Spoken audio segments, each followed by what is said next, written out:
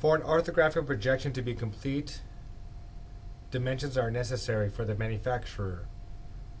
Currently we have the object lines drawn in, the hidden lines drawn, and the center lines. Now we need to do our last step, which is adding dimensions.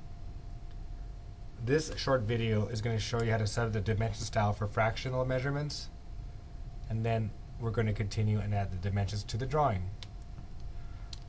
To create a dimension style, you click on this annotation menu and select this option called dimension style or dim style.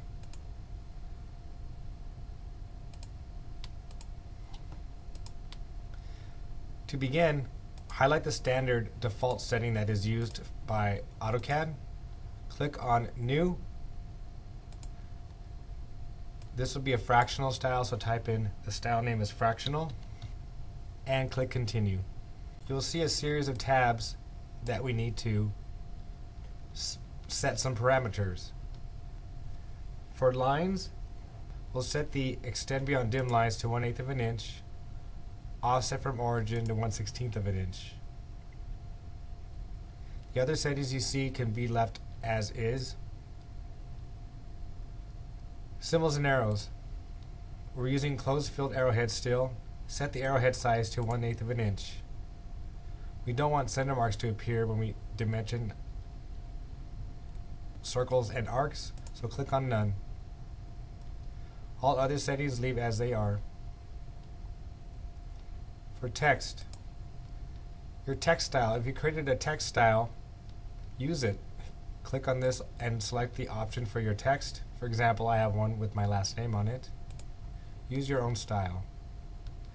The text height will be 1 8th of an inch. No other settings need to be changed. Fit. The settings you see here should be uh, already set. Nothing should be changed here. Make sure the overall scale does say 1. Primary units. This is where you choose the type of unit format. Select fractional. Select precision smaller than the smallest measurement on our drawing. Our smallest measurement is 132nd.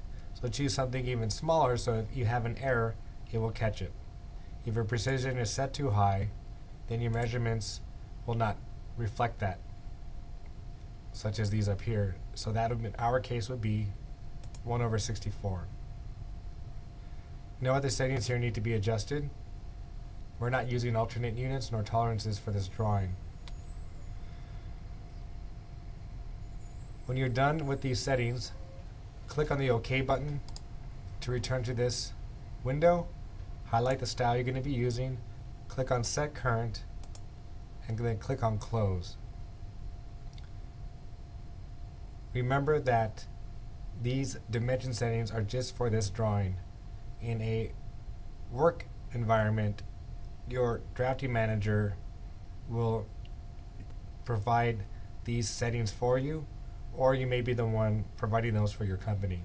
And as you see in the settings here, there's a lot of customization you can do.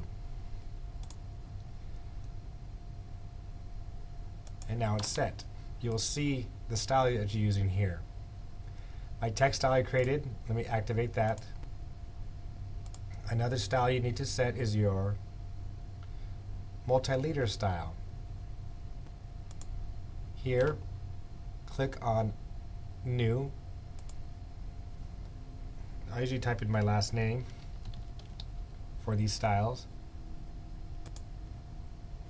Here, the leader format, change the arrowhead size to 1 8th of an inch. For leader structure, nothing needs to be changed here. For content, your text style, find your style and use it. Text height would be 1 8th of an inch. No other changes need to be made. Click OK. Set your current style Click on Set Current and close. So now your style will be used here. For my videos, you're going to see I'm using this style here, which is the same as the other one I have. I just wanted to show you how to create the style. And now we're ready to dimension the drawing.